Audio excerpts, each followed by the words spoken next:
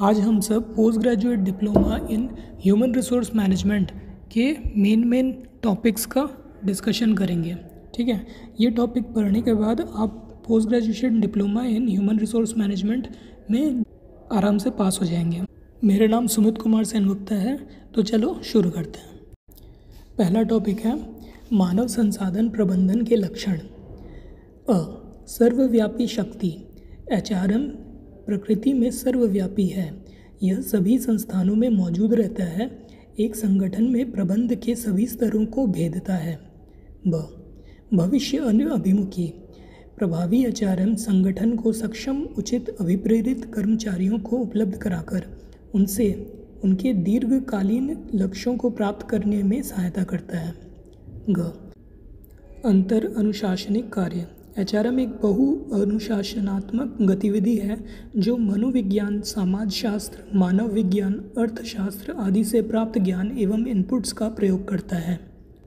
दूसरा टॉपिक है, व्यवहार विज्ञान परिभाषा। 1963 बेरेलसन का यह कहना है कि व्यावहारिक विज्ञान मानव शास्त्र समाजशास्त्र, मनोविज्ञान के पारस्परिक क्षेत्रों में कुछ अर्थों में अधिक है। एवं कुछ अर्थों में उनके न्यून हैं। मर्टन के 90 मर्टन ने 1969 में व्यवहार विज्ञान को बताया कि यह विषय अत्यंत प्राचीन है तथा उन्हीं, अर्थात समाजशास्त्र राजनीति शास्त्र आदि के सम्मिश्रण को ही एक नवीन विज्ञान के रूप में व्यावहारिक विज्ञान माना गया है। हिंडी एवं कर्टज के अनुसार ट्रांसेक्शन व्यवहार विज्ञान, का अर्थ किसी क्षेत्र में घटने वाली संपूर्ण क्रिया जिससे सभी पक्ष एवं सभी चरण को, जो आपस में संबंधित है एवं निरीक्षण कहीं स्वयं एक सामान्य क्रिया का अंग है। टॉपिक थ्री औपचारिक समूह के मूल सिद्धांत प्रिंसिपल्स ऑफ़ फॉर्मल ग्रुप यद्यपि औपचारिक समूह में कार्यरत व्यक्तियों के मध्य सहकारिता की भावना का उदय उद्देश्यों की उपलब्धि से प्रेरित होता है फिर भी इस समूह के कुछ मार्गदर्शक सिद्धांत होते हैं, जैसे कार्य का विशिष्टीकरण, आदेश की श्रृंखला, निर्देश की एकता नियंत्रण का विस्तार। नेक्स्ट टॉपिक है, अनुशासन के उद्देश्य ऑब्जेक्टिव्स ऑफ़ डिसिप्लिन निर्बाध कार्य संचालन हेतु संगठन के कार्यों को निर्बाध गति प्रदान करना अनुशासन का प्रथम उद्देश्य होता है। जिस संगठन में जितना अधिक अनुशासन व्याप्त होगा, उसके कार्यों में उतनी ही अधिक गति बनी रहेगी। संगठन के कार्यों में मितव्ययता के लिए, संगठन के कार्यों में व्यतव्यता के उद्देश्य से भी अनुशासन की स्थापना के प्रयत्न किए जाते हैं, क्योंकि अच्छे अनुशासन के अंतर्गत कार्य निर्बाध गति से चलता है एवं बर्बादी में कमी आती है। नेक्स्ट टॉपिक मानव संसाधन प्रबंधन के उद्देश्य। योग्यता व कार्यकुशल कार्यबल को गठित करना। संस्थान में कार्यरत सभी सदस्यों के के लिए एक मज़बूत संगठन तंत्र स्थापित करना। संस्थान के उद्देश्यों तथा कर्मचारी समूह के उद्देश्यों की पूर्ति में एक सामंजस्य बनाए रखना। संस्थान की प्रगति के साथ साथ कर्मचारी व कर्मचारी समूह के लिए भी प्रगति के अवसर निर्मित करना। संस्थान के उद्देश्यों की पूर्ति हेतु मानव संसाधन का प्रभावी रूप से उपयोग करना। प्रत्येक कर्मचारी व उसके समूह की आवश्यकता की पहचान कर उनको उचित सम्मान, वेतन व अन्य लाभ देना। कर्मचारी हित, उनकी सामाजिक सुरक्षा, चुनौतीपूर्ण कार्यों में सहायता, मान सम्मान और सुरक्षा की ज़िम्मेदारी लेना।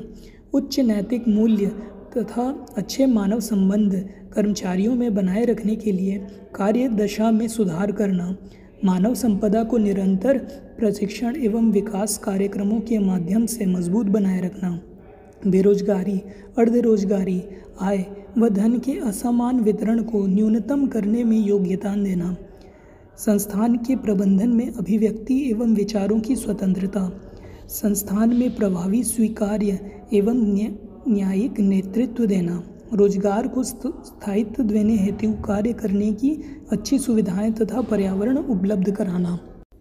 नेक्स्ट टॉपिक है, कार्य संतुष्टि के मापन की पद्धति।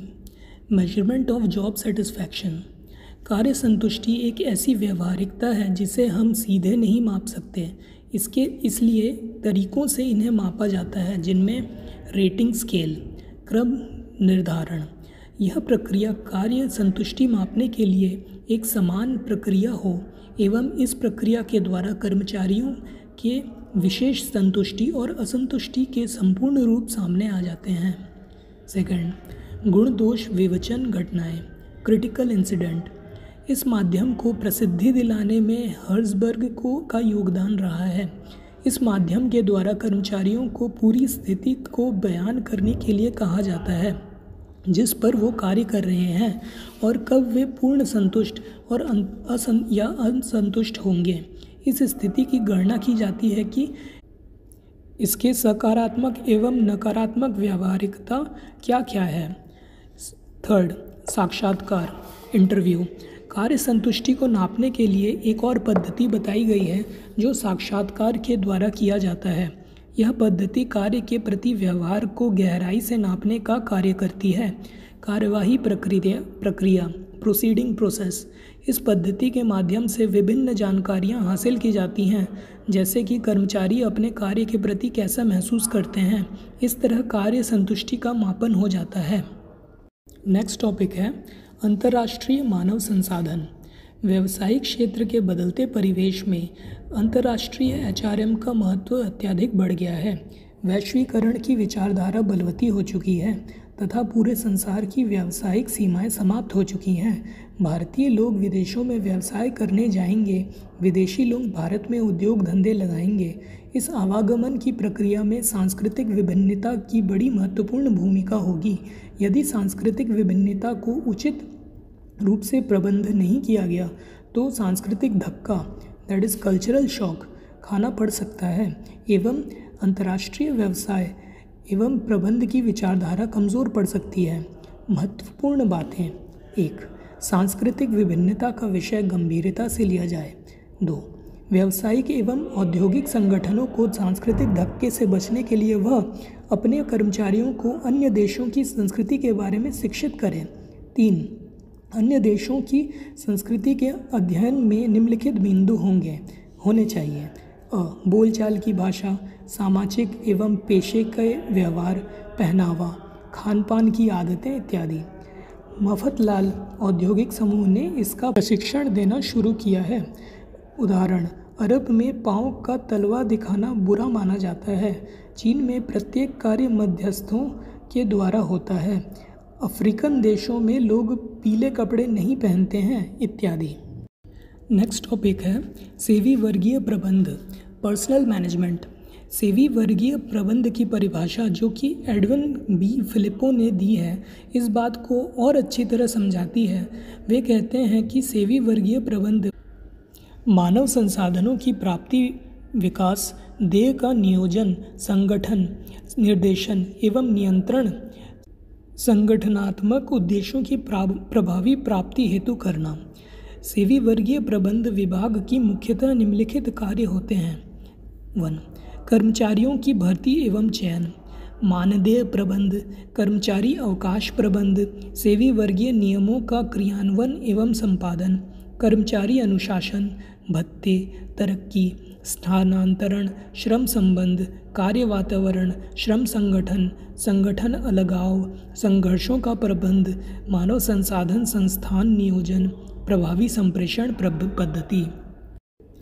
कर्मचारी मूल्यांकन पद्धति, कर्मचारी प्रशिक्षण एवं विकास, कर्मचारी शिक्षा, मानव संसाधन सूचना पद्धति, सेवी वर्गीय कार्यों का समन्वयन, कर्मचारी कल्याण, सामूहिक बार्गेनिंग सेवी वर्गीय संगठन के ढांचे में परिवर्तन कर्मचारी मूल्यांकन कर्मचारी लाभ मानव संसाधन प्रबंधन की प्रबंध की आवश्यकता। मानव संसाधन के प्रबंध की आवश्यकता आज के युग में अत्यधिक हो गई है। यहाँ तक कि सेवी वर्गीय प्रबंध को, को व्यावसायिक रूप में देखा जाता है। इसके निम्नलिखित कारण हो सकते हैं। प्रबंध और श्रम में मधुर संबंधों की स्थापना करना, व्यावसायिक वातावरण में हुए परिवर्तनों का प्रबंध करना, कर्मचारी में काम के प्रति अभिप्रेरण पैदा करना तथा तला, लगाव की भावना पैदा करना। पूरे संसार में व्यापक राजनैतिक प्रबंधों के कारण, राजनैतिक दर्शन में मूलभूत परिवर्तनों के कारण, तकनीकी विकास, व्यवसाय का वैश्वीकरण प्रशिक्षण एवं विकास की नई नई सुविधाएँ एवं अवसर, शोध एवं विकास पर विशेष ज़ोर। नेक्स्ट टॉपिक है व्यवहार विज्ञान परिभाषा। 1963 बेरेलसन का यह कहना है कि व्यावहारिक विज्ञान मानव शास्त्र समाज शास्त्र मनोविज्ञान के पारस्परिक क्षेत्रों में कुछ अर्थों में अधिक है एवं कुछ अर्थों में उससे न्यून है। मर्टन ने 19 1699 में व्यवहार विज्ञान को बताया कि यह विषय अत्यंत प्राचीन है तथा उन्हीं, अर्थात समाज शास्त्र राजनीति शास्त्र आदि के सम्मिश्रण को ही एक नवीन विज्ञान के रूप में व्यवहारिक विज्ञान माना गया है। हिंडी एवं कर्टज के अनुसार ट्रांसेक्शन या फिर व्यवहार विज्ञान का अर्थ किसी क्षेत्र में घटने वाली संपूर्ण क्रिया, जिससे सभी पक्ष एवं सभी चरण जो आपस में संबंधित हैं एवं निरीक्षण कहीं स्वयं एक सामान्य क्रिया का अंग है। व्यवहार विज्ञान, प्रकृति एवं क्षेत्र। व्यवहारिक विज्ञान का संबंध अने अन्य अनेकों विज्ञानों से है। व्यवहारिक विज्ञान का क्षेत्र बहुत वृहद स्तर पर है। व्यवहारिक विज्ञान के क्षेत्र का साहसी अंदाज़ा, सहसा अंदाज़ा लगाना बहुत ही कठिन है। वास्तव में इस व्यवहारिक विज्ञान का संबंध मानवशास्त्र, समाजशास्त्र और मनोविज्ञान इन तीनों से अधिक है। यद्यपि व्यवहारिक विज्ञान का उल्लेख जिन विज्ञानों में विशेष रूप से प्राप्त हुए हैं, उनमें अर्थशास्त्र राजनीति शास्त्र एवं विधि शास्त्र मुख्य रूप से है। इन इन विज्ञानों ने व्यवहारिक विज्ञान के विकास में सहयोग प्रदान किए हैं। पूर्व प्रचलित व्यवहारिक विज्ञान के पूर्व विकास के पहले इसे सोशल साइंस के नाम से पुकारा जाता था। किंतु सोशल साइंस व्यवहारिक विज्ञान के पद्धतियों को पूर्ण रूप से व्यक्त करने में सक्षम नहीं है। व्यवहारिक विज्ञान केवल प्रत्यक्ष रूप से व्यक्त मानव व्यवहार से संबंधित है। यह सूचना जानकारी एकत्रित करने में अधिक रुचि रखता है, जबकि इसकी अपेक्षा सोशल साइंस निर्धारित आंकड़ों पर आधारित होता है। व्यवहारिक विज्ञान की सीमाओं का निर्धारण करना कठिन है क्योंकि इसकी सीमाएँ अस्पष्ट हैं। अतः इसको सामाजिक विज्ञान की सीमाओं से भिन्न करना कठिन है। इसके अलावा व्यवहारिक विज्ञान सोशल साइंस को जटिलता प्रदान करता है एवं ज्ञान के क्षेत्र को बढ़ाता है। व्यवहार विज्ञान का उपयोग। ज्ञान अपने आप में मूल्यवान एवं लाभदायक हो सकता है, परंतु इसका अंतिम लक्ष्य तभी प्राप्त होता है जब इसका किसी कार्य के लिए सदुपयोग किया जाए। व्यवहारिक विज्ञानों के अशोध परिणामों को आवश्यकता अनुसार विभिन्न व्यावसायिक क्षेत्रों, शिक्षा कानून, स्वास्थ्य, चिकित्सा उद्योग, सरकारी कार्य एवं कृषि आदि में भी उपयोग किया जा सकता है। हमारे विस्तृत क्षेत्रों में उत्पन्न सामाजिक समस्याओं के समाधान के लिए विभिन्न व्यवसाय, कानून, पुनर्वास, शहरी नवीनीकरण, बाल अपराध रोकने के, बाल अपराध के लिए व्यावहारिक विज्ञान अपने शोध कार्यों के द्वारा इन विशेष समस्याओं का समाधान खोजता है। नेक्स्ट टॉपिक है मजदूरी। मजदूरी से आशय उस भुगतान से है जो कर्मचारी को कार्य के पारिश्रमिक के रूप में दिया जाता है, जो साप्ताहिक, पाक्षिक या मासिक होता है। मजदूरी की राशि में अंतर कार्य के घंटों में परिवर्तन के अनुरूप होता है। मजदूरी प्राप्त करने वाले व्यक्तियों की श्रेणी में सामान्यतः कारखाना में कार्य करने वाले श्रमिक तथा अपर्यवेक्षकीय कर्मचारियों को सम्मिलित किया जाता है। वोल्डर एवं हैनमैन के अनुसार, मजदूरी उन श्रमिकों तथा अन्य कर्मचारियों को दी गई क्षतिपूर्ति है जो अपने नियोक्ता नियोक्ता के लिए वस्तुएँ एवं सेवाएँ उपलब्ध करा, करते हैं। तथा उत्पादन कार्यों के लिए नियोक्ता के उप, उपकरणों का प्रयोग करते हैं। बेनहम के अनुसार मजदूरी एक संविदा के अंतर्गत की गई वह राशि है जो नियोक्ता द्वारा श्रमिक को उनकी सेवाओं के बदले में दी जाती है। मजदूरी के स्तर न्यूनतम मजदूरी मिनिमम वेज से आशय उस मजदूरी की दर से है, जो श्रमिकों तथा उनके परिवार पालन पालन पोषण के योग्य हो, तथा उनकी चिकित्सा, शिक्षा एवं मनोरंजन की व्यवस्था कर सके। अखिल भारतीय सेवा नियोजक संगठन के अनुसार न्यूनतम मजदूरी वह मजदूरी है जो श्रमिक तथा उसके परिवार की भौतिक आवश्यकताओं को पूरी करे। उचित मजदूरी, सामाजिक ज्ञान शब्द के अनुसार उचित मजदूरी वह मजदूरी है जो श्रमिकों को समान कुशलता, कठिन व अरुचिकर कार्यों के लिए प्राप्त होती है। यह मजदूरी संस्था द्वारा किसी प्रमाणिक स्तर पर निर्धारित की जाती है।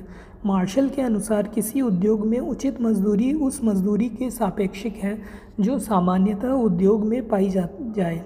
यदि श्रम की मांग में स्थिरता में पाई जाने वाले अंतर को ध्यान रखा जाए तो मजदूरी की दर का स्तर तथा अन्य उद्योगों में समान कर, कठिन और अरुचिकर कार्यों के लिए प्राप्त होती है। यह मजदूरी संस्था द्वारा किसी प्रमाणिक स्तर पर निर्धारित की जाती है। पीगू के अनुसार उचित मजदूरी वह मजदूरी है जो श्रमिकों की कार्यकुशलता के अनुपात में दी जाती है। कार्यकुशलता की माप श्रमिक की सामंत उत्पादकता के आधार पर दी जाती है। निर्वाह मजदूरी भारतीय संविधान के नीति निर्धारक तत्वों, राज्य धारा 43 के अनुसार, राज्य सभी कर्मचारियों को निर्वाह मजदूरी प्रदान करेगा।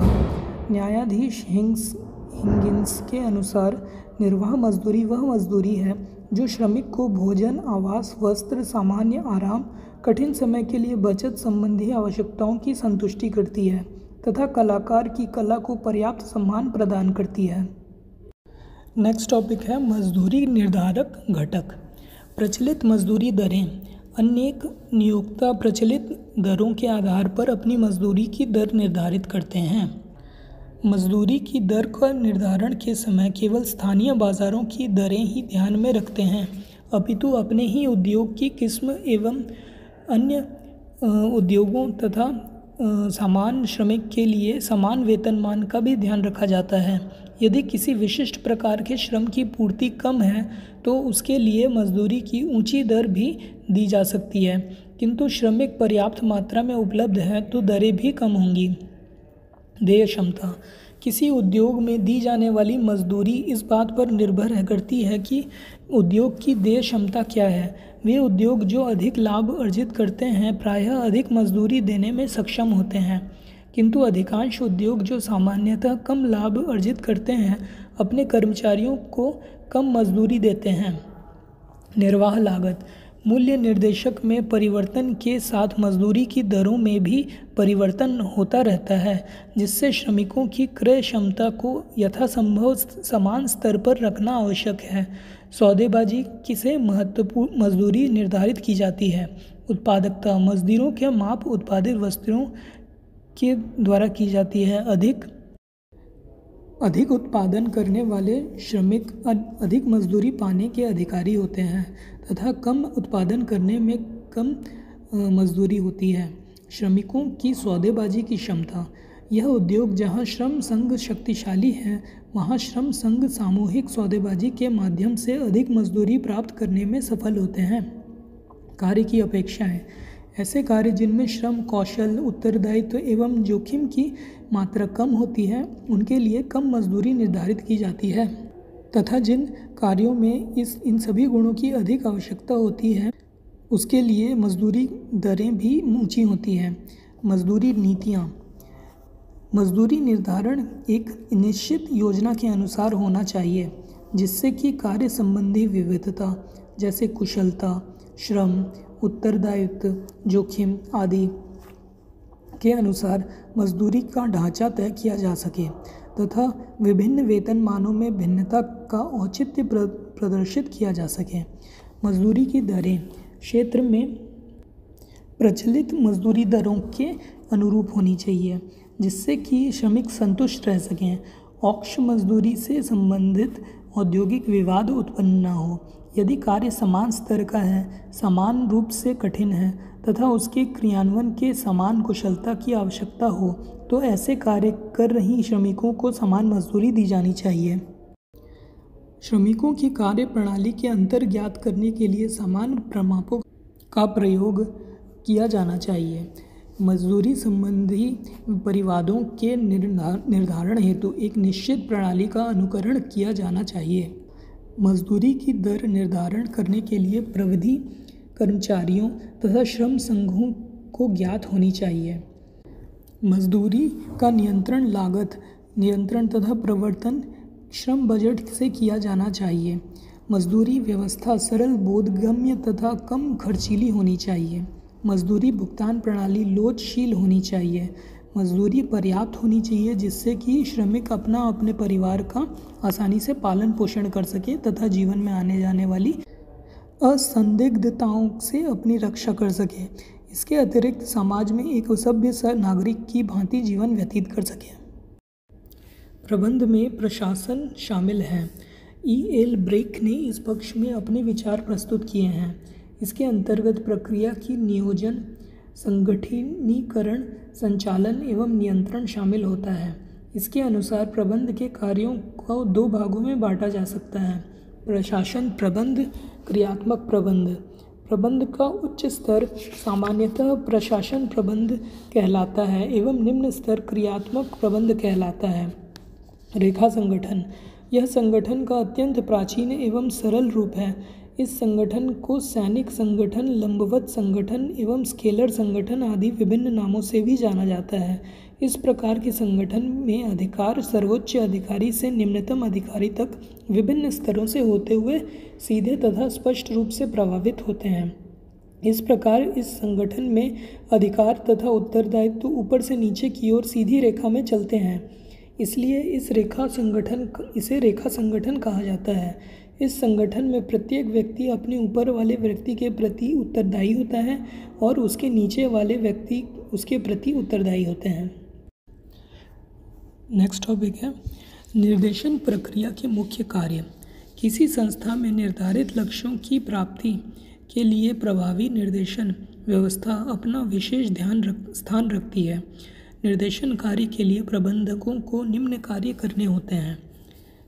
सुपरविजन यानी पर्यवेक्षण, संप्रेषण यानी कम्युनिकेशन अभिप्रेरण यानी मोटिवेशन नेतृत्व यानी लीडरशिप समन्वय यानी कोऑर्डिनेशन कार्यशील पूंजी वर्किंग कैपिटल कार्यशील पूंजी प्रत्येक फर्म के संचालन के लिए आवश्यक होती है।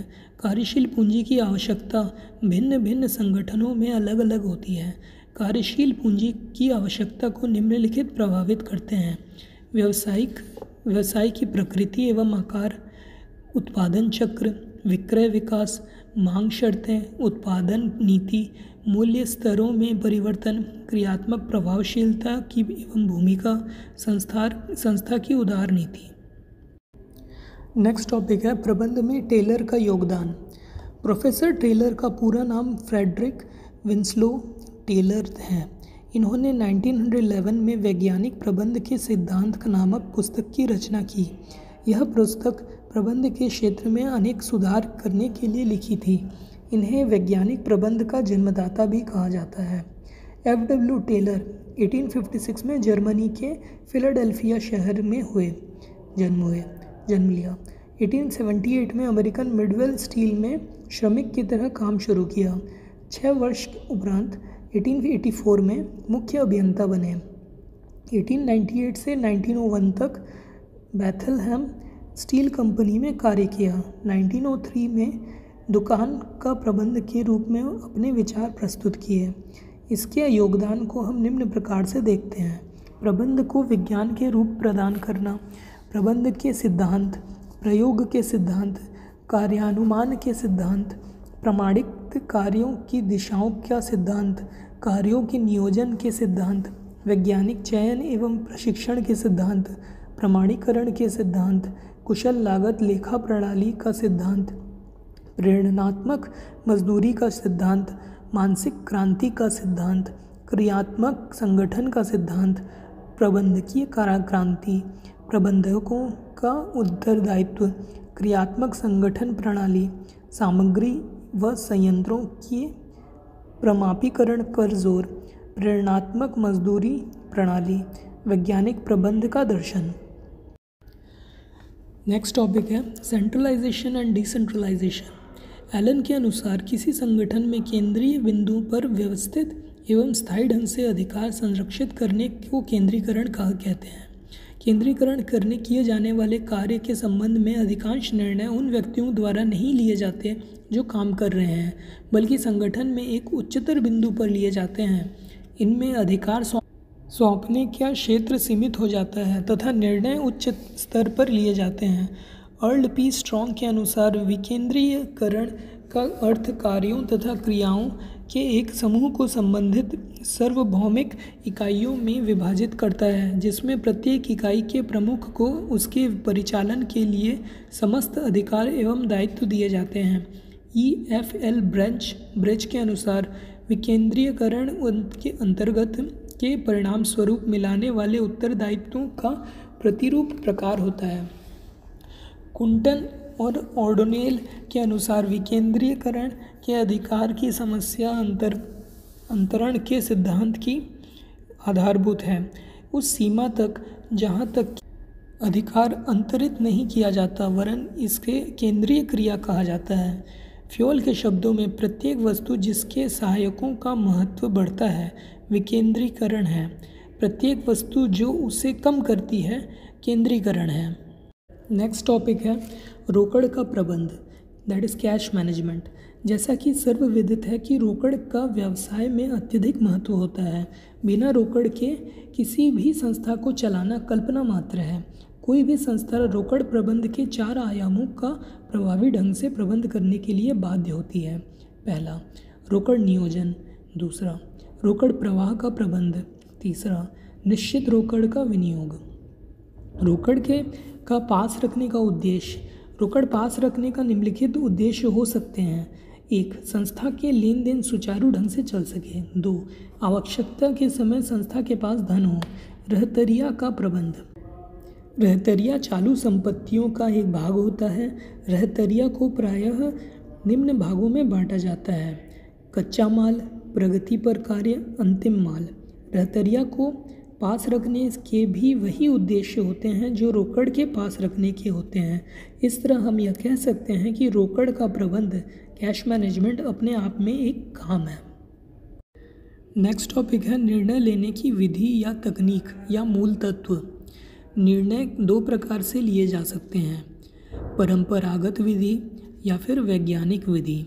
परंपरागत विधि कन्वेंशनल मेथड भूतकाल में प्रबंधक निर्णय लेने में लक्षणात्मक निदान की विधि का जो कि चिकित्सों चिकित्सकों में बहुल लोकप्रिय थी उपयोग किया करते थे। चिकित्सकों ने अनुभव से यह ज्ञात कर लिया था कि प्रत्येक रोग के कुछ चिन्ह होते हैं और उनका विश्वास था कि चिन्ह झूठे नहीं हो सकते। अतः वे रोग का निदान लक्षणों के अनुसार करते थे, परंतु बाह्य लक्षण सदा विश्वसनीय नहीं होते। वे झूठे भी हो सकते हैं और होते हैं, इसलिए सलाहकारों ने अब विश्लेषण विधि अपनाई है। जिसके अनुसार वे रोग का निदान, एक्सरे, रक्त पेशाब इत्यादि की जाँच के सहायता से करते हैं।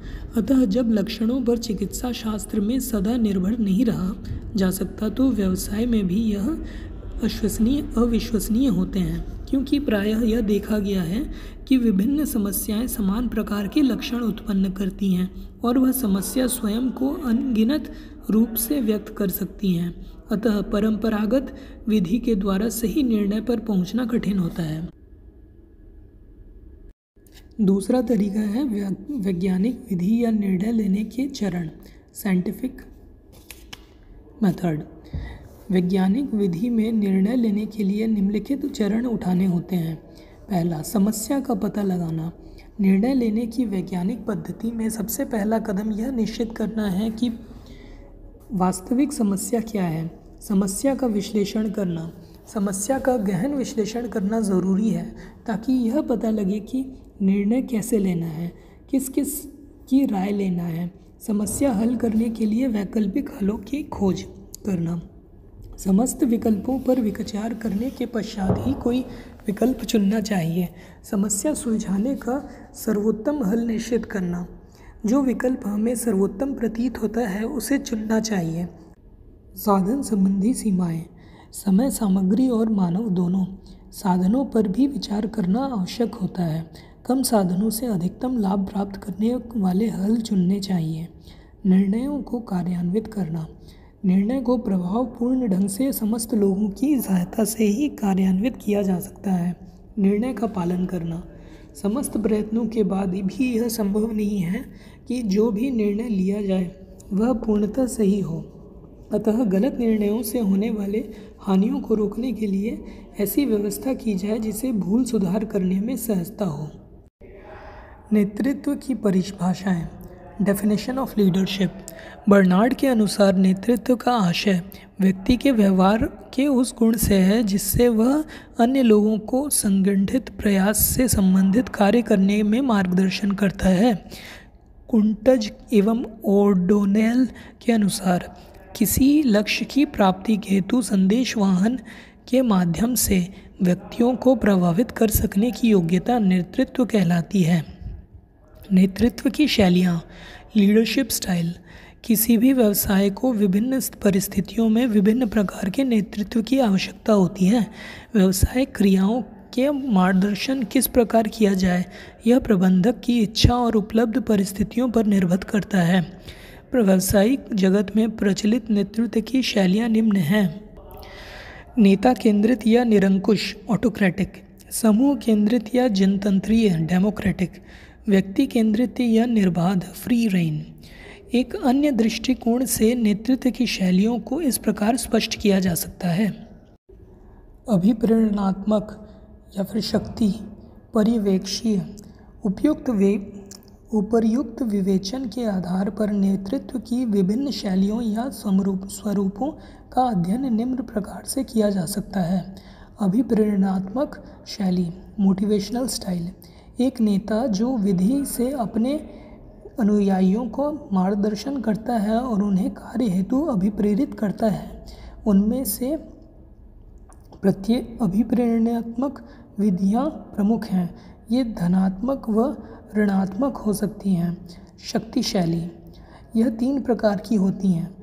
निरंकुश नेतृत्व, सारे अधिकार नेता के पास केंद्रित होने पर इसे निरंकुश नेतृत्व कहते हैं। जनतंत्रीय नेतृत्व, यह आधुनिक व सर्वमान्य है, इसमें विचार विमर्श किया जाता है। निर्बाध नेतृत्व, इसमें नेता कम से कम प्रबंध करता है, सब कुछ अनुयायियों, अनुयायी करते हैं। पर्यवेक्षीय विधि, यह दो प्रकार की होती है। कर्मचारी प्रधान विधि। इसमें नेता कर्मचारियों को सर्वाधिक महत्व प्रदान करता है। उत्पादन प्रधान विधि। इसमें नेता उत्पादन विधि पर सर्वाधिक ध्यान देता है। लक्ष्यों को प्राप्त करना प्राथमिक होता है। हेनरी फ्यूल द्वारा प्रतिपादित प्रबंध के सिद्धांत। फ्यूल ने अपने अनुभव के आधार पर प्रशासनिक प्रबंध संबंधी कार्यों को संपन्न करने के लिए चौदह सिद्धांतों की रचना की है, जो प्रबंधकों को आवश्यक दिशा प्रदान करते हैं। ये सिद्धांत निम्न हैं। कार्य का विभाजन, विशिष्टीकरण के लाभों को प्राप्त करने के लिए कार्यों का विभाजन आवश्यक है। इसका उद्देश्य कम प्रयासों से अधिक एवं अच्छा उत्पादन करना है। हेनरी फ्यूल के अनुसार प्रत्येक व्यक्ति प्रत्येक कार्य को करने के योग्य नहीं होता। अतः जो व्यक्ति जिस कार्य को करने के योग्य है, उसे वही कार्य दिया जाना चाहिए। अधिकार एवं उत्तरदायित्व। अधिकार व दायित्व दोनों घनिष्ठ रूप से संबंधित हैं। अपने दायित्वों को निभाने के लिए अधिकारों, अधिकारी को अधिकार प्रदान किए जाते हैं। ये अधिकार उसे पद और व्यक्तित्व से मिलते हैं। अनुशासन। अनुशासन के अभाव में कोई भी प्रतिष्ठान संभल, सफल नहीं हो सकता। अनुशासन अच्छे नेतृत्व पर निर्भर करता है, फ्योल ने ठीक ही कहा है। बुरा अनुशासन एक बुराई है जो प्रायः बुरे नेतृत्व के कारण उत्पन्न होती है। अनुशासन को बनाए रखना तीन बातों द्वारा संभव है। सभी स्तरों पर अच्छे पर्यवेक्षक कर्मचारियों के साथ उचित समझौते तथा दंड की व्यवस्था। आदेश की एकता का सिद्धांत। इस सिद्धांत के अनुसार प्रत्येक कर्मचारी को एक कार्य के संबंध में एक ही अधिकारी से आदेश मिलना चाहिए, क्योंकि अलग अलग अधिकारियों से अलग अलग आदेश मिलने पर यह भ्रम के कारण कार्य संपन्न नहीं कर सकेगा, जिससे कार्य में रुकावट पैदा होगी और श्रमिकों पर विपरीत प्रभाव पड़ेगा। निर्देश की एकता का सिद्धांत। हेनरी फ्यूल ने इस बात को स्पष्ट किया है कि एक योजना एक मस्तिष्क से ही होना चाहिए, अर्थात एक योजना से संबंधित निर्देशन किसी एक व्यक्ति से ही मिलना चाहिए। इसके अभाव में योजना के क्रियान्वयन में अनेक कठिनाइयाँ उत्पन्न होती हैं। व्यक्तिगत हितों की सामान्य हित के प्रति अधीनता। इस सिद्धांत के अनुसार सामान्य हित व्यक्ति के हितों से ऊपर है, अतः व्यक्तिगत हित की तुलना में सामान्य हित की ओर अधिक ध्यान देना चाहिए। जहाँ तक कि संभव हो सके, व्यक्तिगत हित में सामान्य हित से अनुरूप होना चाहिए। थ्री सातवां, संपर्क श्रृंखला का सिद्धांत। इस सिद्धांत के अनुसार उच्च एवं निम्न स्तरों पर के सभी पदाधिकारियों के मध्य औपचारिक संबंध निश्चित होना चाहिए। जिस क्रम में संबंध स्थापित हो, उसी क्रम में उसमें आपस में संपर्क होना चाहिए। जो पदक पदाधिकारी इस संपर्क श्रृंखला का उल्लंघन करें, उसे दंड दिया जाना चाहिए। स्थायित्व का सिद्धांत। फ्योल ने कहा है कि कार्य अवधि में कर्मचारियों को अपनी सेवा व कार्य के स्थायित्व की भावना होनी चाहिए। नौकरी में स्थायित्व न होने से कर्मचारी पूर्ण लग्न व लगन व क्षमता से कार्य नहीं करेगा। तथा वह अन्य उत्तम कार्यों के लिए प्रयासरत रहेगा और इसका प्रत्यक्ष प्रभाव उत्पादन पर पड़ेगा। पुरस्कार का सिद्धांत। फ्योल का मत था कि प्रेरणात्मक मजदूरी श्रमिकों को अधिक कार्य करने के लिए प्रेरित करती है। उन्होंने अपने इस सिद्धांत में स्पष्ट किया है कि संस्था में परि, पारिश्रमिक पद्धति ऐसी होनी चाहिए जो संस्था एवं श्रमिकों दोनों के हितों के अनुकूल हों। उनकी धारणा थी कि मजदूरी पद्धति संतोषजनक होने के साथ साथ समय पर उसकी भुगतान की भी व्यवस्था होनी चाहिए। दसवां, व्यवस्था का सिद्धांत। व्यवस्था से आशय कर्मचारियों एवं सामग्री दोनों की उचित व्यवस्था से है। फ्योल ने कहा है कि प्रत्येक वस्तु के लिए निश्चित स्थान नियत होना चाहिए। प्रत्येक व्यक्ति को कार्यस्थल पर निश्चित होना चाहिए तथा सामग्री की व्यवस्था ऐसी हो कि अनावश्यक क्षति व समय की बर्बादी को रोका जा सके। समानता का सिद्धांत। प्रत्येक व्यक्ति अपने सभी कर्मचारियों के साथ समानता का व्यवहार करना चाहिए। ऐसा करते समय प्रबंधक को बुद्धिमान, अनुभवी एवं अच्छी प्रकृति का होना चाहिए। कर्मचारियों की सेवाओं की स्थिरता। इस सिद्धांत के अनुसार एक कार्य पर कर्मचारियों की सेवा की स्थिरता रहनी चाहिए। वह कर्मचारियों को एक स्थान से दूसरे स्थान पर स्थानांतरित नहीं किया जाना चाहिए। जल्दी जल्दी स्थानांतरण करने से व्यवसाय के सफल संचालन में बाधा उत्पन्न होती है। कार्य की प्रगति धीमी रहती है तथा कर्मचारियों में असंतोष की भावना बलवती होती है। प्रेरणा या पहल। प्रेरणा से अभिप्राय किसी योजना को सोचने, प्रस्तावित करने तथा उसे क्रियान्वित करने की स्वतंत्रता से है। सभी कर्मचारियों को समान रूप से प्रेरणा के अवसर उपलब्ध होने चाहिए। फोर्टीन पॉइंट, सहयोग। व्यवसाय की सफलता कर्मचारियों में परस्पर सहयोग की भावना पर निर्भर करती है। आदेश की एकता, वार्तालाप, सामान्य व्यवहार आदि सिद्धांतों का पालन करके सहयोग की भावना विकसित किया जा सकता है।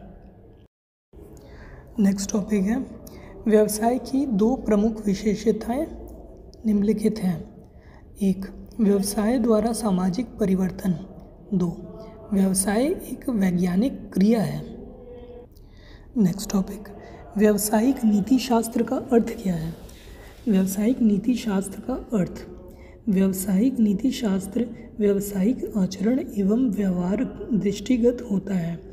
व्यवसाय की नीतियों का निर्धारण इस प्रकार से किया जाता है कि वे सामाजिक हितों की अभिवृद्धि एवं पूर्ति में सहायक हो। न केवल वे व्यावसायिक हितों की पूर्ति के लिए निश्चित हों, व्यावसायिक निष्ठा एवं उसकी सही तस्वीर को उसके द्वारा अपनाई गई एवं क्रियान्वित की गई नीतियों से देखा जा सकता है। व्यावसायिक नीति शास्त्र वास्तव में व्यवसाय के आचरण एवं व्यवहार की एक संपूर्ण संहिता होती है। व्यवहार संहिताएँ विभिन्न देशों, समाजों एवं व्यवसायों की विभिन्न दिशाओं एवं परिस्थितियों पर आधारित होती हैं। सामाजिक एवं व्यावसायिक अपेक्षाएँ भी इसके निर्धारण में एक महत्वपूर्ण योगदान देती हैं। मधुर औद्योगिक संबंध विगत तीन वर्षों में बिगड़ते हुए औद्योगिक संबंधों ने अर्थव्यवस्था के कुछ महत्वपूर्ण क्षेत्रों को विपरीत रूप से प्रभावित किया है, तथा इसके परिणाम स्वरूप औद्योगिक उत्पादन में गिरावट आई है। श्रमिकों के हितों तथा कल्याण को सरकार अत्यधिक महत्व देती है, लेकिन यह भी मानती है कि अर्थव्यवस्था के विकास के लिए प्रबंध एवं श्रमिकों दोनों का सहयोग बहुत ज़रूरी है। सरकार का यह विचार है कि त्रिपक्षीय श्रम कॉन्फ्रेंस का पुनः जागृत किया जाए, जिससे दोनों पक्षों का पेरा सहयोग प्राप्त किया जा सके, तथा देशों, देश में औद्योगिक शांति बनाए रखने में और प्रगति में सहूलियत हो सके। नेक्स्ट टॉपिक बोनस बोनस एक प्रकार का अभिप्रेरण है, जो कर्मचारी को अधिक लाभ देने की स्थिति में दिया जाता है। कर्मचारी इस बोनस से प्रभावित होकर अधिक कार्य करता है, जिससे संस्था को और अधिक लाभ होता है। बोनस का निर्धारण अलग अलग प्रवृत्ति वाले उद्योगों एवं व्यवसायों की अलग अलग दर से किया जाता है। अधिक आय वाले लोग बोनस के लिए पात्रता नहीं रखते हैं। व्यवसाय में आर्थिक आधार का महत्व importance of financial base in business निम्न कारणों से व्यवसाय में आर्थिक आधार का महत्व स्पष्ट करने में सफलता होगी। पहला, लाभ प्राप्ति की प्रेरणा। लाभ प्राप्ति के लिए वस्तु विनिमय। व्यक्तिगत आवश्यकताओं की पूर्ति के लिए लाभ आवश्यक है। व्यवसाय के विकास एवं अस्तित्व को बनाए रखने हेतु लाभ आवश्यक है।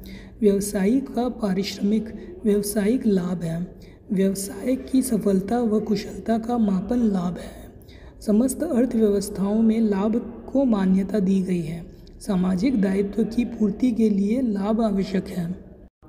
राष्ट्रीय लघु उद्योग निगम limited, national small scale industries corporation limited, इसकी स्थापना लघु उद्योग को प्रोत्साहन देने और विकास करने के लिए फरवरी 1955 में की गई थी।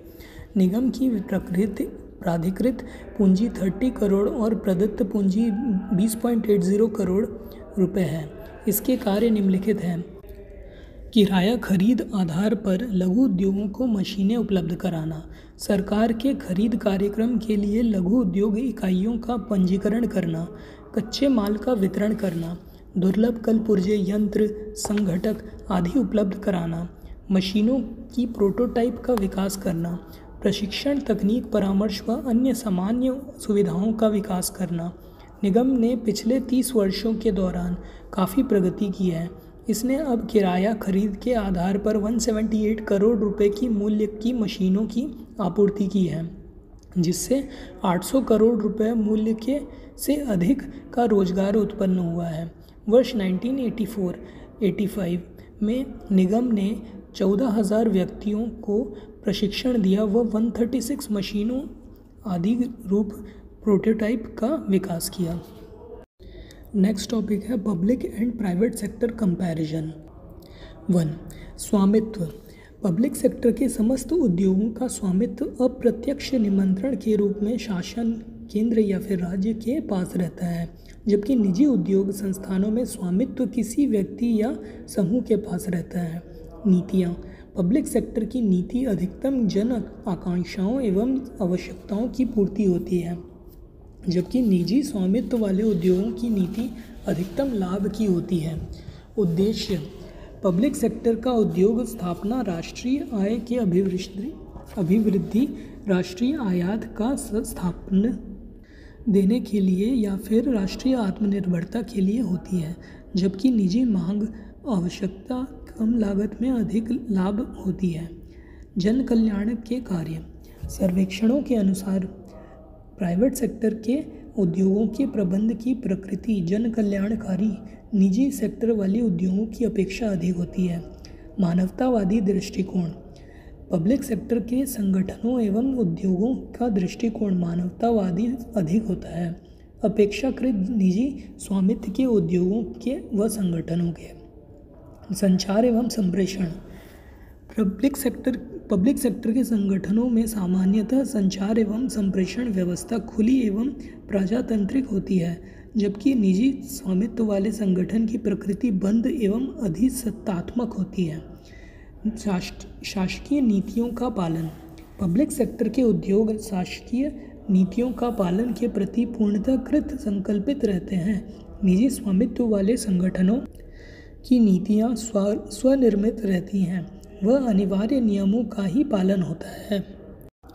औद्योगिक नीति 1985, 1980, 1991 इंडस्ट्रियल पॉलिसी 1985, 1980 एंड 1991 इस दशक में सरकार ने औद्योगिक नीति को अत्यंत विवेकपूर्ण बनाने का प्रयास किया है। इस औद्योगिक नीति के प्रमुख लक्ष्य निम्नलिखित निर्धारित किए गए हैं। आर्थिक विकास में आने वाली बाधाओं को दूर करना गतिशील औद्योगिक वातावरण का निर्माण करना, विकास, विनियोग व उत्पादन की गति को तीव्र करना, इसके प्रभावी कार्य कार्यान्वयन कार्यान्वयन हेतु सरकार ने निम्न महत्वपूर्ण संशोधन किए हैं। उद्योगों का विशद वर्गीकरण, लाइसेंस प्राप्त इकाइयों ने 25 उद्योगों को, मशीन औज़ार, मोहरीकृत चार पहिया वाहन, कागज़ और लुगदी, रसायन पेट्रो रसायन और उर्वरक मशीनरी उद्योग। कृषि machinery, diesel engine, crane, typewriter, विद्युत उपकरण, रेल डब्बा व सवारी डिब्बा है। उद्योगों को लाइसेंस मुक्त करना। मार्च 1985 में 25 विशद उद्योगों को लाइसेंस मुक्त कर दिया गया। अब इन्हें केवल पंजी, पंजीयन करवाना होता है। पिछड़े क्षेत्रों में उद्योगों की स्थापना पर लाइसेंस की छूट। दिसंबर 1985 में एमआरटीपी अधिनियम की धारा 21 व 22 के अधीन छूट प्राप्त 27 उद्योगों में 22 को लाइसेंस मुक्त कर दिया गया। वहाँ उद्योगों की निवेश सीमा में वृद्धि, लघु उद्योगों में निवेश सीमा बढ़ाई गई। सहायक उद्योगों की उसी तरह निवेश सीमा में, निवेश सीमा को 25 से 45 लाख कर दी गई। दूरसंचार उपकरण उद्योग में गैर सरकारी क्षेत्र में की भागीदारी ने स्विचिंग और ट्रांसमिशन उपकरणों के उत्पादन में 49 परसेंट निजी व 51 परसेंट हिस्सा केंद्र अथवा राज्य के पास होना चाहिए। उद्योग रहित जिलों व पिछड़े क्षेत्रों का विकास। पिछड़े क्षेत्रों में उद्योग लाने वालों को लाइसेंस में प्राथमिकता दी गई है।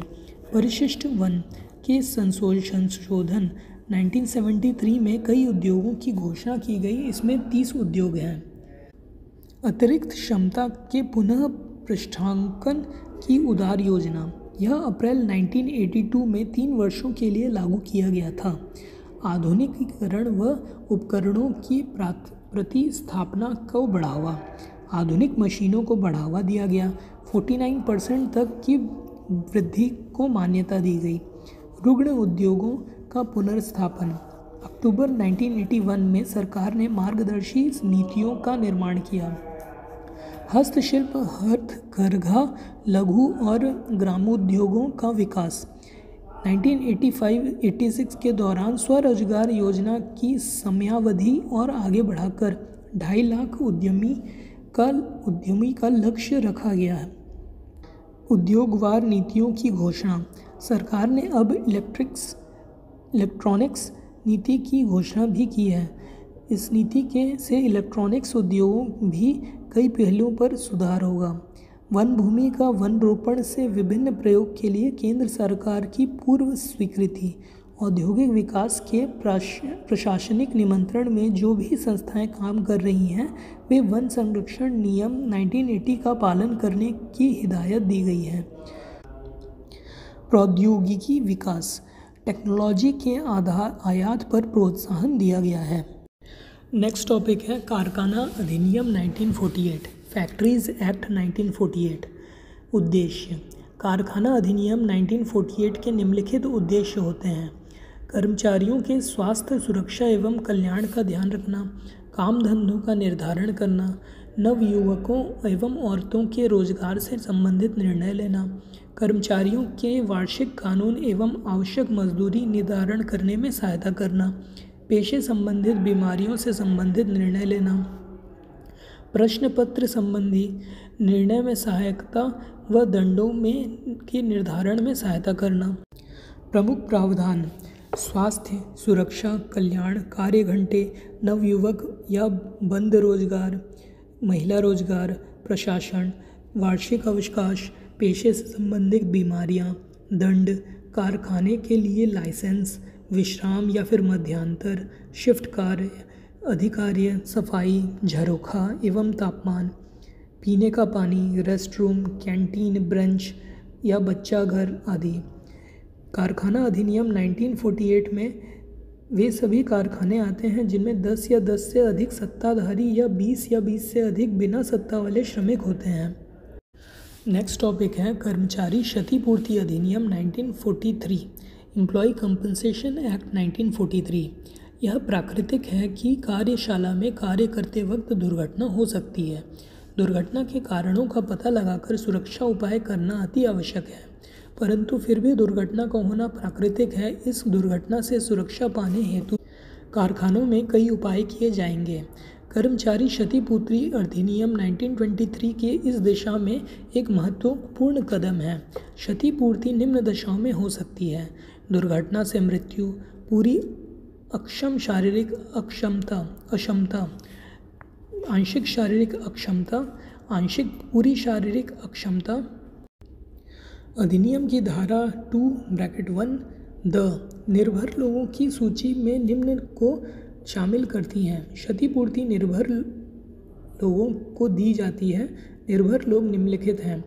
एक, विधवा बी नाबालिग बेटा, तीन, अविवाहित पुत्री, चार, विधवा माता, पाँच, बालिग पुत्र, छः, एक पुरुष जिसकी पत्नी मर गई है। सात, कानूनी रूप से वैधानिक पुत्री। आठ, अविवाहित बहन नौ विधवाशाली दस अविवाहित कानूनी तौर से वैधानिक पुत्री। श्रम संबंधी अधिनियमों की आवश्यकता नीड ऑफ़ लेबर लेजिस्लेशन श्रम संबंधी अधिनियमों की आवश्यकता निम्न कारणों से हो सकती है। औद्योगिक शांति बनाए रखने के लिए, औद्योगिक विकास की प्रक्रिया को उन्नत बनाने के लिए, औद्योगिक विकास की गति को तीव्र करने के लिए, औद्योगिक विवादों का निपटारा करने के लिए कर्मचारियों की मजदूरी व वेतन से संबंधित अधिकार दिलाने हेतु, श्रमिकों का कार्य संबंधी समस्याओं का समाधान करने हेतु, श्रमिकों की उत्पादन क्षमता में वृद्धि करने हेतु।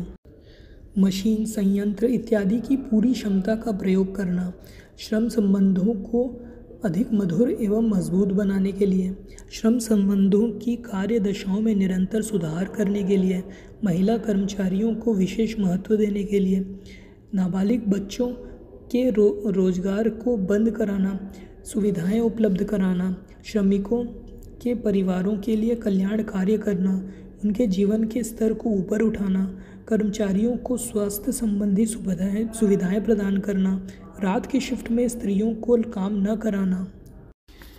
चोट आदि की क्षतिपूर्ति कराना, कर्मचारियों का बीमा आदि कराना, गर्भवती स्त्रियों का प्रसूति अवकाश प्रदान करना। यदि कर्मचारियों की समस्याओं का शीघ्र समाधान करना है, उनको संतोष या तनाव से दूर रखना है तो औद्योगिक अधिनियमों को पूर्व प्रयोग उपयोग कर औद्योगिक शक्ति स्थापित करना चाहिए।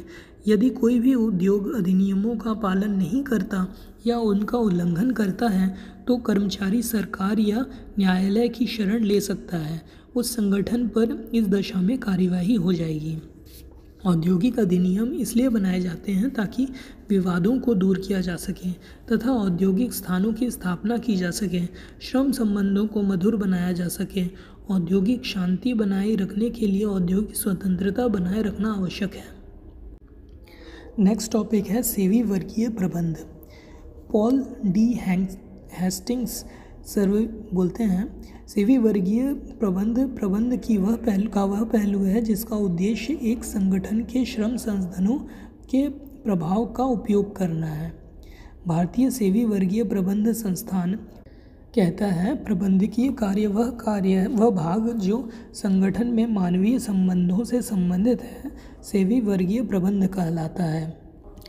नेक्स्ट टॉपिक है कार्य मूल्यांकन जॉब इवैल्यूएशन यह वह प्रक्रिया है जिसके द्वारा प्रत्येक कार्य के सापेक्षिक वास्तविक मूल्य को इस प्रकार मूल्यांकन किया जाता है कि जिससे प्रत्येक कार्य के लिए उचित पारिश्रमिक की दरें निर्धारित की जा सकें।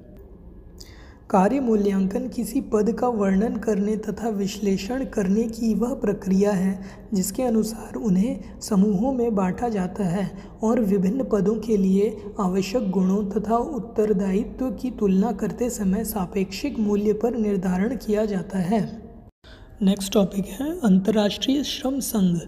अनुषांगिक लाभों से आशय ऐसी सुविधाओं से है जो कारखानों के अंदर या निकटवर्ती स्थानों में उपलब्ध हों।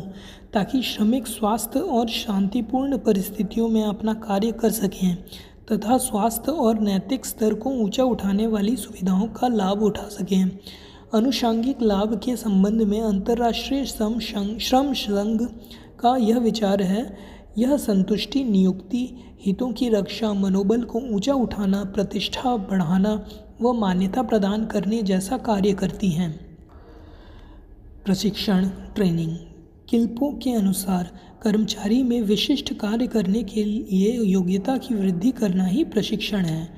डेलमोडर के शब्दों में प्रशिक्षण वह प्रक्रिया है जिसके द्वारा धन शक्ति को, जो उसके द्वारा किए जाने वाले कार्य को योग्य बनाया बनाया जाता है। अतः प्रशिक्षण सामान्य ज्ञान के विपरीत विशिष्ट ज्ञान है, जिसकी आवश्यकता कार्य विशेष को निष्पादित करने के लिए होती है। नेक्स्ट टॉपिक है प्रबंध के कार्य। नियोजन। सामान्यतः भविष्य में क्या करना है, इसका पूर्व निर्धारण ही नियोजन है। इस तरह नियोजन हेतु प्रचलित मजदूरी की दरों, श्रम बाज़ार, श्रम संघों की शक्ति आदि की जानकारी होना आवश्यक है। संगठन। नियोजन के उपरांत संगठन का कार्य प्रारंभ होता है। लक्ष्य एवं उद्देश्य निर्धारित कर लेने के पश्चात उन्हें क्रियान्वित करने की समस्या रहती है जिसे प्रबंध संगठन के द्वारा करता है। संगठन का आशय नियोजन द्वारा निर्धारित लक्ष्यों की प्राप्ति करने से है। निर्देशन। सेवी वर्गीय प्रबंध का अन्य प्रबंधकीय कार्य है। निर्देशन। इसके अंतर्गत अभिप्रेषण, गति देना, आदेश देना आदि सभी सम्मिलित हैं।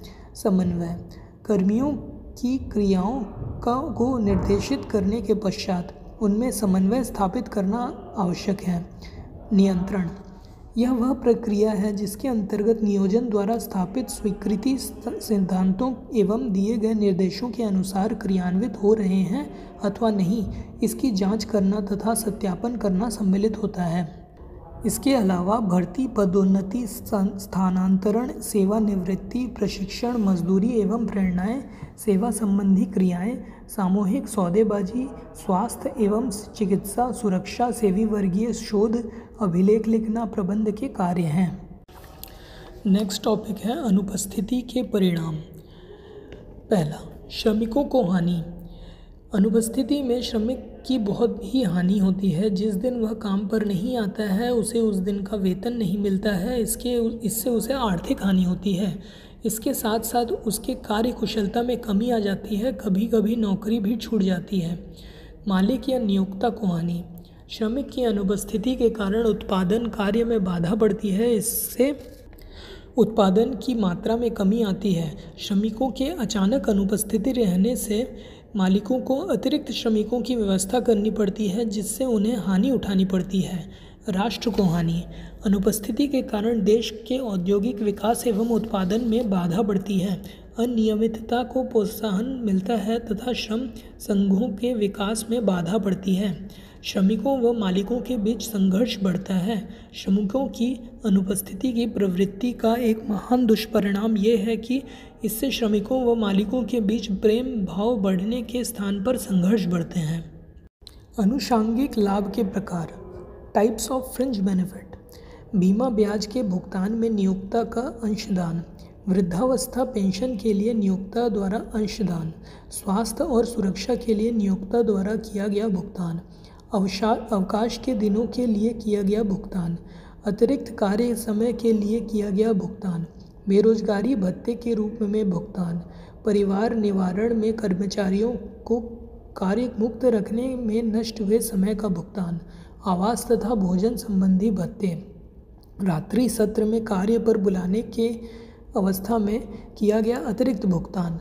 दुर्घटना के समय निःशुल्क सेवा उपचार, अल्पाहार गृह की सुविधा, रास्ते दर पर भोजन एवं खाद्य सामग्री उपलब्ध कराना, बचत तथा भविष्य निधि में अंशदान, विवाह, जन्म, मृत्यु आदि के समय कर्मचारियों को दी गई आर्थिक सहायता, आवास बनाने के लिए आर्थिक सहायता, सेवा काल में निःशुल्क यात्रा सुविधा।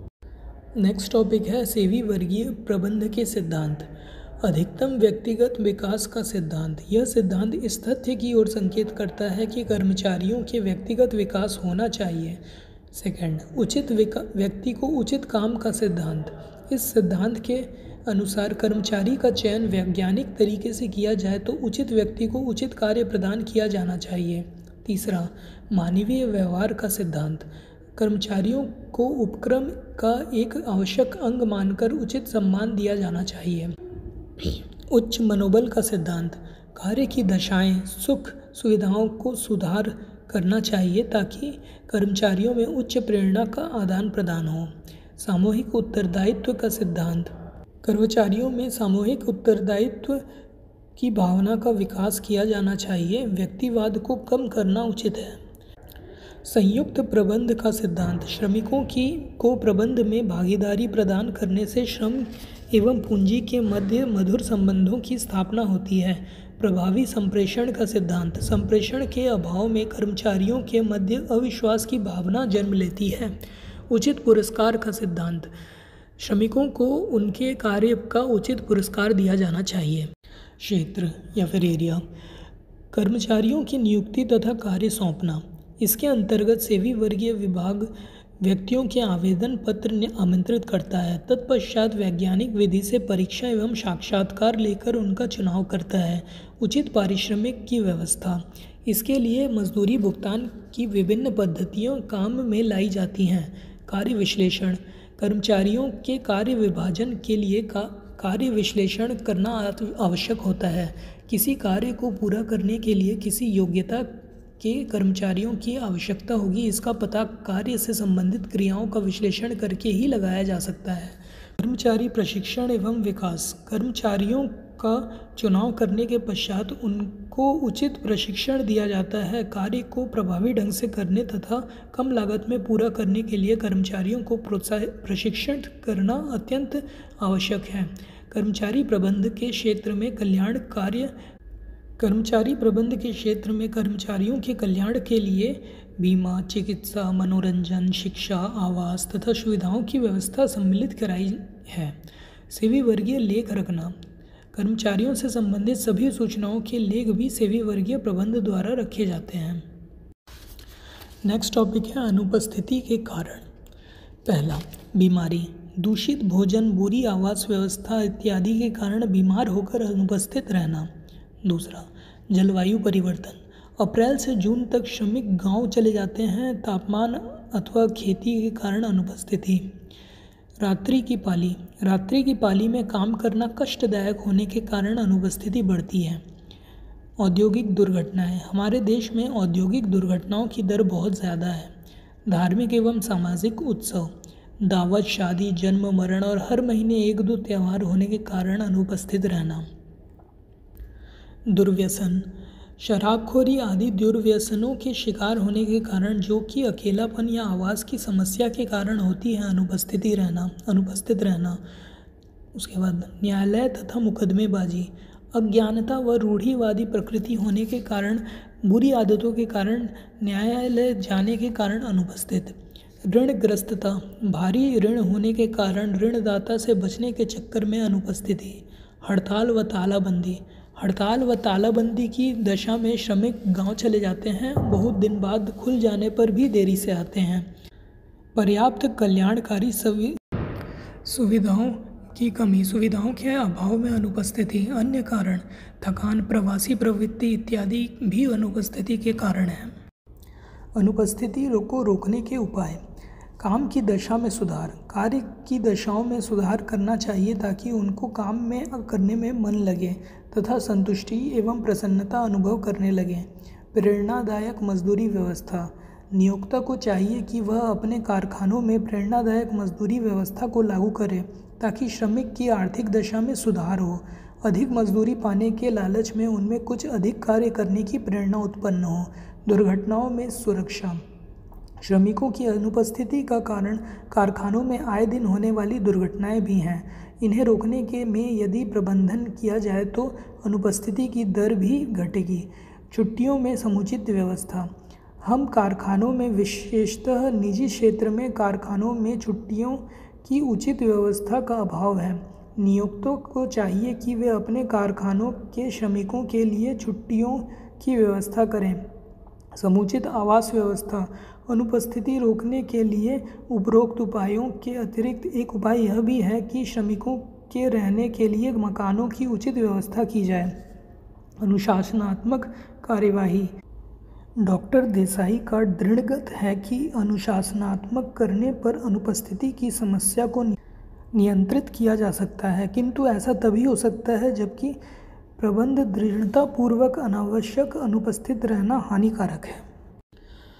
नेक्स्ट टॉपिक है सेवी वर्गीय नीतियाँ एवं पद्धतियाँ। सेवी वर्गीय नीतियों के मार्गदर्शन हैं, जो संगठन के कार्यों को विभिन्न उद्देश्यों की पूर्ति के लिए अच्छी तरह चलाने में सहायक होती हैं।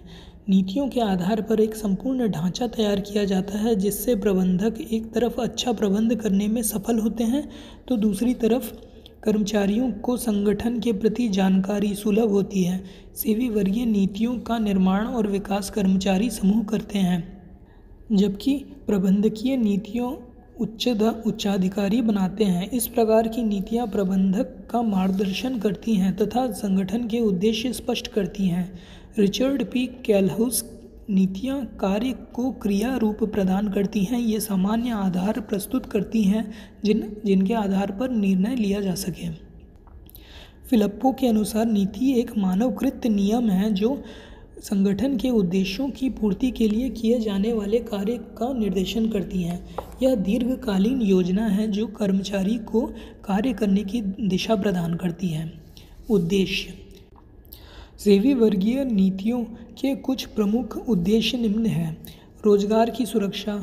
कर्मचारियों एवं श्रमिकों को रोज़गार की सुरक्षा प्रदान करना ताकि श्रमिक अपने व्यक्तिगत कठिनाइयों से छुटकारा पा सकें तथा संगठन से अपने रोज़गार के बारे में पूर्ण सुरक्षा की जानकारी प्राप्त कर सकें। प्रगति के अवसर प्रदान करना। योग्य एवं सक्षम व्यक्तियों को प्रगति के अवसर प्रदान करना तथा उनके प्रशिक्षण की समुचित व्यवस्था करना। वेतन की उचित दरें। मजदूरी एवं वेतन की उचित दरें निर्धारित करना ताकि श्रमिक एवं कर्मचारी संस्था के हित में कार्य कर सकें। रोज़गार की शर्तों के बारे में। रोज़गार की शर्तों और स्थितियों के बारे में उचित नीति निर्धारित करने के, करने, उसे क्रियान्वित करना तथा श्रमिकों और प्रबंधकों के बीच अच्छे संबंध स्थापित हो सकें। उत्तरदायित्व की भावना जागृत करना। प्रबंधकों में उत्तरदायित्व की भावना जागृत करना ताकि वे श्रमिकों तथा अन्य कर्मचारियों के हितों की रक्षा कर सकें। नीति के बारे में जानकारी, ऐसी व्यवस्था करना जिससे सभी कर्मचारियों की नीतियों के बारे में पूर्ण जानकारी प्राप्त हो सके, जिसके उपक्रम को उनका पूर्ण सहयोग प्राप्त हो सके। प्रशिक्षित व्यक्ति का चयन। उपक्रम के लिए प्रशिक्षित एवं योग्य व्यक्ति प्राप्त करना तथा सभी स्तरों पर कार्य कर व्यवस्थित ढंग से हो सके। हितों की रक्षा। उपक्रम में सभी व्यक्तियों के हितों की रक्षा करनी चाहिए। प्रबंधन में सहन, सहभागिता। प्रबंध में कर्मचारियों को सहभागिता प्रदान करना। नेक्स्ट टॉपिक है सेवी वर्गीय नीतियों की आवश्यकता। सेवी वर्गीय नीति की आवश्यकता निम्न कारणों से होती है। एक, संगठन तथा कर्मचारी दोनों की आधारभूत आवश्यकताएँ प्रायः संघर्ष में होती है, अतः प्रबंधकों को व्यक्तिगत आवश्यकताओं और संगठनात्मक आवश्यकताओं में सामंजस्य स्थापित करना पड़ता है, जिससे कि निर्धारित उद्देश्य की प्राप्ति हो सके। दो निर्धारित नीतियाँ सभी कर्मचारियों पर समान रूप से लागू होती हैं, जिससे भेदभाव तथा पक्षपात समाप्त हो जाता है। इससे कर्मचारियों के मन मुटाव कम हो जाते हैं और उनसे, उन्हें विकास के अवसर प्राप्त होते हैं। उपक्रम में संगठीय ढांचे में परिवर्तन होने पर नीति में कोई परिवर्तन नहीं होता, अतः नीतियों का निर्णयन के सभी स्तर पर अधिकारियों का मार्गदर्शन करती हैं। नीतियाँ निर्धारित लक्ष्य की प्राप्ति हेतु बनाई जाती हैं, अतः कार्यशीलता का मूल्यांकन करने के लिए ये प्रमाप का कार्य करती हैं। सुनिश्चित नीतियों से कर्मचारियों में उत्साह एवं निष्ठा बनी रहती है। नीतियाँ निश्चित मार्गदर्शन करती हैं, जिनमें निर्णयन की सहायता प्राप्त होती है। विशेषताएँ। नीतियों का अर्थ विश्वास का व्यक्त करना है। नीति का निर्धारण इस विश्वास पर किया जाता है कि सही बात को सही समर्थन प्राप्त होना चाहिए। नीति विस्तृत होनी चाहिए। नीति का उद्देश्य प्रबंधकों तथा प्रशासकों को निर्णयात्मक एकरूपता की दृष्टि से मार्गदर्शन प्रदान करना है। अतः नीति विस्तृत एवं स्पष्ट होनी चाहिए। नीति दीर्घकालीन होनी चाहिए। नीति में यह क्षमता होनी चाहिए कि वह वर्तमान तथा भविष्य की समस्याओं का निराकरण करने में सक्षम है। इसलिए पर्याप्त विचार विमर्श के बाद नीतियों का निर्धारण तथा क्रियान्वयन किया जाना चाहिए। नीतियाँ दूषित न हों। नीति में यथासंभव सभी विषयों पर सम्मल, को सम्मिलित किया जाना चाहिए। इसमें कोई भी विरोधाभास नहीं होना चाहिए। नीति लिखित होनी चाहिए। यदि नीति लिखित हो तो उसमें एक रूपता लाना संभव होता है तथा विवाद के समय लिखित नीति को आधार माना जाता है। नीति विभागीय नीति के अनुरूप होनी चाहिए। विभागीय नीतियाँ संगठन की आधारभूत नीतियों के अनुरूप होनी चाहिए। नीति लोचदार होनी चाहिए। नीति लोच के गुण होना चाहिए ताकि परिस्थितियों के अनुसार नीतियों को बदला जा सके। सर्वमान्य नीति। नीति ऐसी होनी चाहिए जिससे अधिकांश संगठन के कर्मचारी स्वीकार करते हों तथा जो संगठन के उद्देश्य की प्राप्ति में योगदान करने वाली हों। संगठन के उद्देश्यों के अनुरूप। नीतियाँ हमेशा विचार विमर्श के पश्चात संगठन के उद्देश्यों को ध्यान में रखकर बनाई जाती हैं। प्रबंधकों के सहयोग से नीति का विकास। नीति निर्धारण के एक महत्वपूर्ण विषय है, अतः इसके निर्धारण के में सभी वर्ग के कर्मचारियों का सहयोग प्राप्त किया जाना चाहिए। प्रबंधकीय अर्थशास्त्र की विषय वस्तु व्यावसायिक फर्म होती है, इसलिए इसे फर्म का अर्थशास्त्र भी कहा जाता है। अतः फर्म का आर्थिक ज्ञान होना आवश्यक है। फर्म शब्द व्यावसायिक प्रतिष्ठान शब्द की अपेक्षा अधिक व्यापक है क्योंकि फर्म के क्षेत्र में कृषिगत प्रतिष्ठान व्यवसायी तकनीकी तथा सेवा कार्य करने वाली एवं आय उत्पत्ति करने वाली इकाइयाँ भी शामिल की जाती हैं। लाभ सर्वाधिकरण हेतु ला, लाभ पर बेचने के लिए उत्पादन करने वाली इकाइयाँ फर्म कहलाती हैं। क्रय व्यवहार कुछ व्यवहार संबंधी सिद्धांत व विषय हैं जिनसे पता लगता है कि उपभोक्ता क्रय व्यवहार किस प्रकार प्रभावित होती हैं।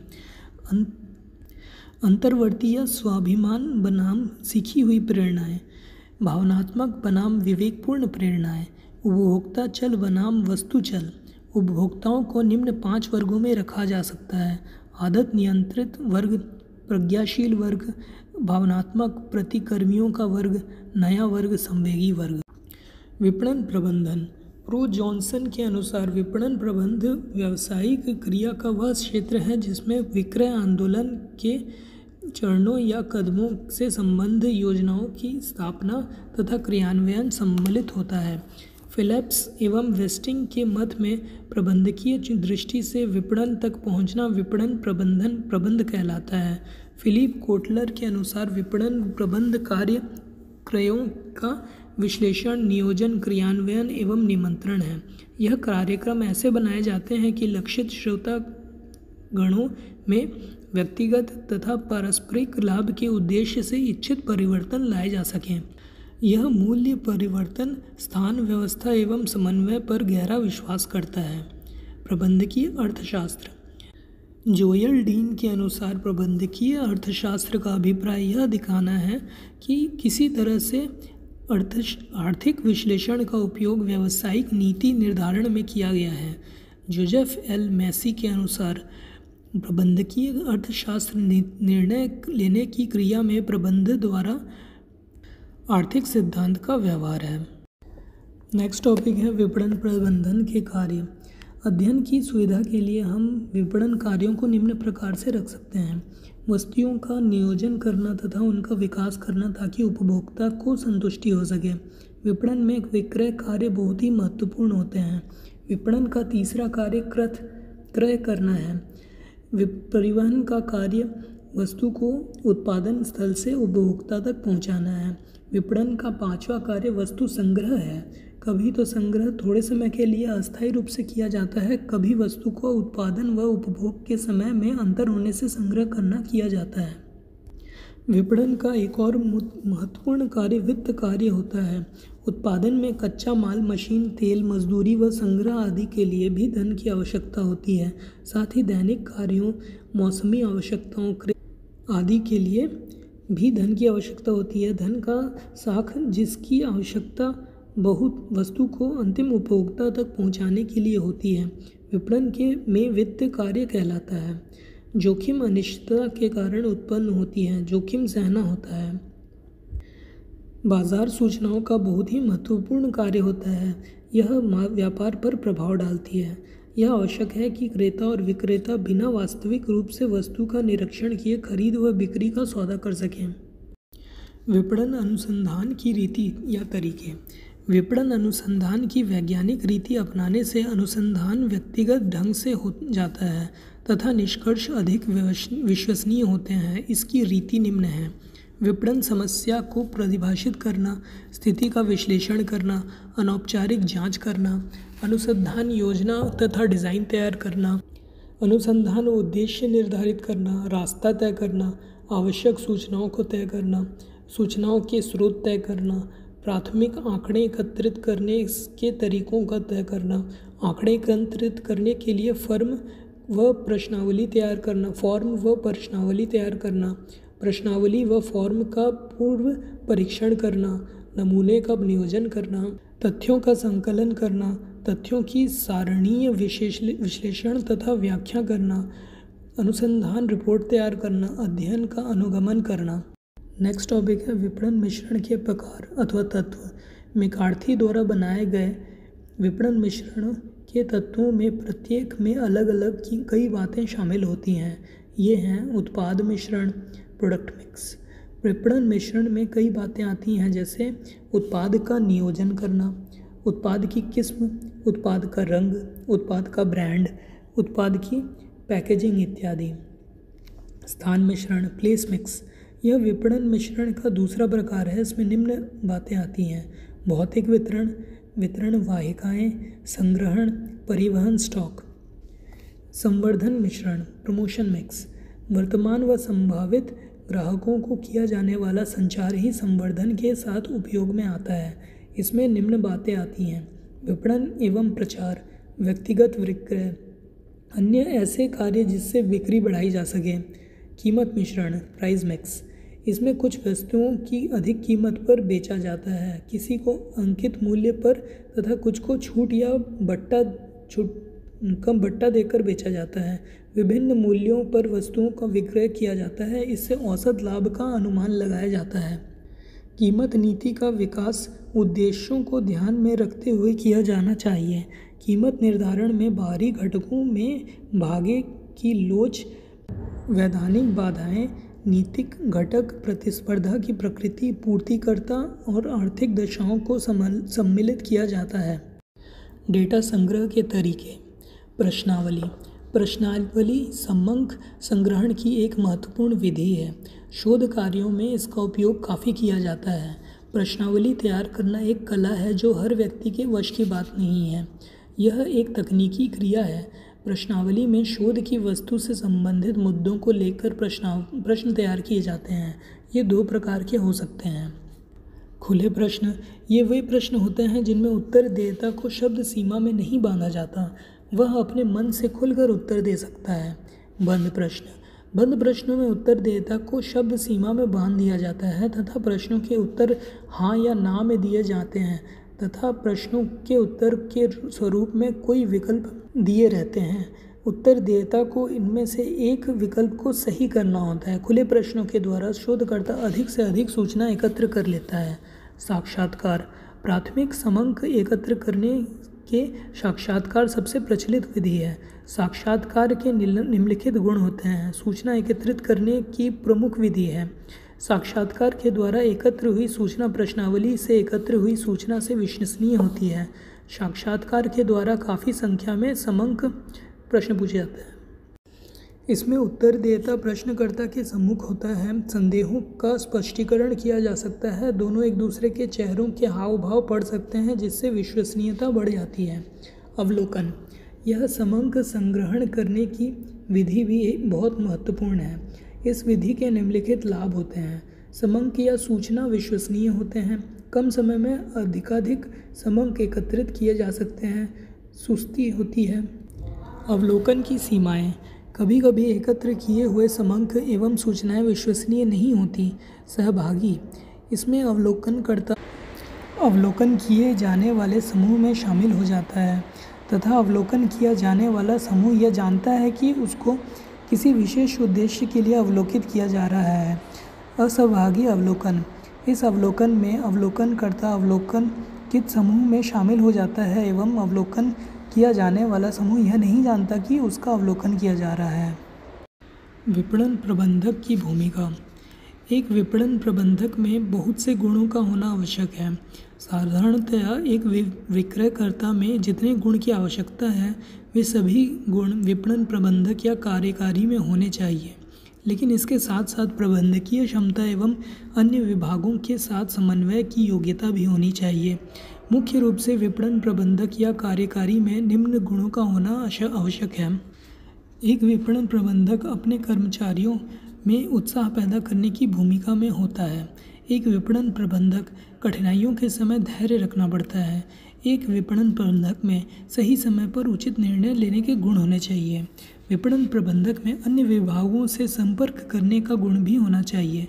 यह संपर्क तीन प्रकार से होता है। स्वयं अपने विभाग से संपर्क करने का गुण, स्वयं अपने वितरकों से संपर्क संपर्क समय समय पर करना चाहिए। विपणन प्रबंधक को अन्य संस्थानों से संपर्क स्थापित करने का गुण भी होना चाहिए। विपणन प्रबंधक में यह गुण होना चाहिए कि उसका दृष्टिकोण साफ़ हो, जिससे कि ध्येय की ओर पहुँचा जा सके। इसके लिए अधिकारों को छोटे छोटे प्रबंधकों को सौंपा जाना चाहिए।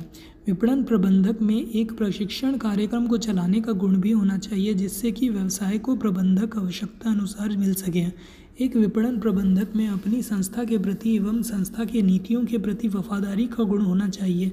यदि वह किसी समय संस्था की नीतियों से सहमत नहीं है और कोई निर्णय उच्च प्रबंधक द्वारा उस पर थोप दिया जाता है तो उसे अपनी सहमति प्रकट करते हुए उन निर्णयों को उसी प्रकार मानना चाहिए, जैसे कि एक सिपाही अपने कमांडर का आदेश मानता है।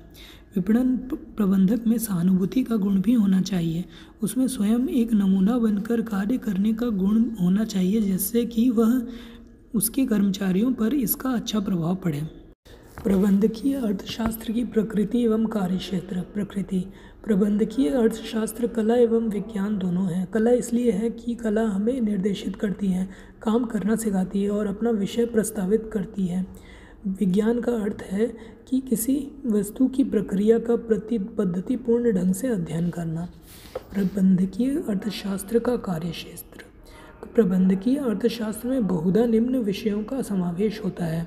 फर्म का सिद्धांत, मांग विश्लेषण तथा मांग पूर्वाभास, लागत तथा उत्पादन विश्लेषण, प्रतियोगिता, मूल्य संबंधी निर्णय, नीति एवं व्यवहार, लाभ प्रबंधन, पूंजी प्रबंधन, व्यावसायिक वातावरण हाल ही के कुछ वर्षों में प्रबंधकीय अर्थशास्त्र के क्षेत्र के अंतर्गत फर्म के सिद्धांत क्रिया शोध रेखीय कार्यक्रम, सामग्री नमूना तथा खेल का सिद्धांत आदि को शामिल किया जाता है और इन्हें प्रबंधकीय अर्थशास्त्र का एक अंग माना जाता है। इन विभिन्न विधियों के अध्ययन यहाँ संक्षिप्त रूप में यहाँ कर लेते हैं। आशय, रूप, उद्देश्य, कार्यविधि, मांग विश्लेषण तथा मांग पूर्वाभास। यह प्रबंधकीय अर्थशास्त्र का मुख्य क्षेत्र है, क्योंकि व्यवसाय के कार्यों का अंतिम परिणाम विक्रय है। अतः किसी भी व्यवसाय के लिए यह बहुत ही आवश्यक होगा कि वह अपनी वस्तु की मांग का अनुमान लगा सके और साथ ही साथ यह भी जान सके कि प्रतियोगी की वस्तुओं की मांग के पीछे कौन सी शक्तियाँ काम कर रही हैं।